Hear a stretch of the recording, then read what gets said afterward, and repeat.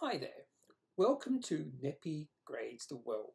Although, based off today's topic, maybe we should rename this as Kneppy Grades Universe, because in today's episode, we're going to venture out into our solar system and have a good look at Saturn's hexagon.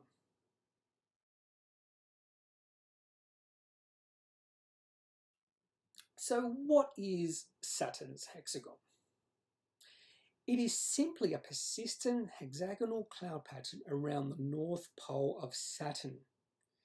Now, in 1981, Voyager 2 took uh, a photo of this pattern, so they didn't really know this existed. That's the image on the left. And when Cassini visited in 2009, image on the right, this uh, shaped pattern remained, which actually suggested a very remarkably stable atmospheric wave existed there.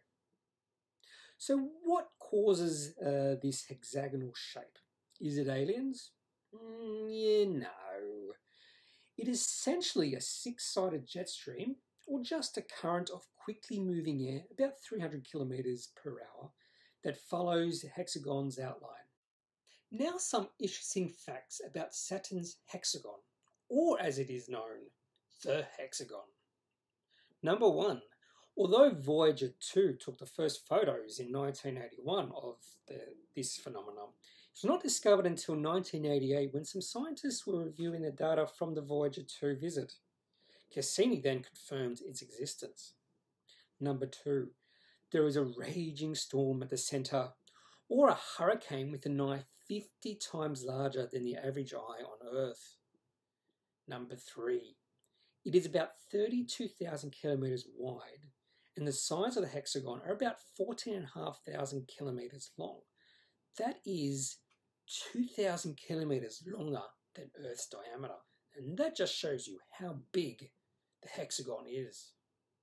Number four, to the, to the surprise of scientists, it is between 100 and 300 kilometers deep.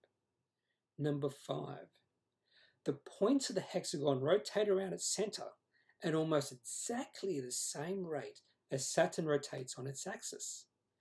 Number six, during the Cassini visit, the hexagon changed colour from blue to golden.